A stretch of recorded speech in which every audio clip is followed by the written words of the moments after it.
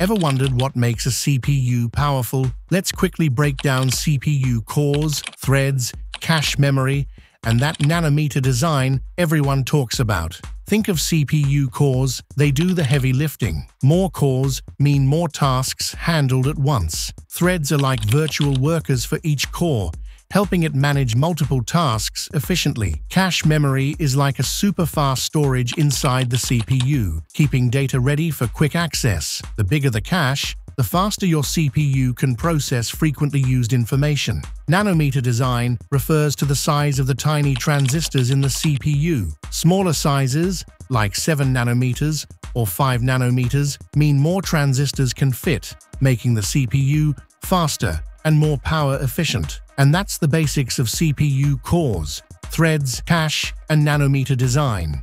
Like and follow Installer Guru for more tech insights.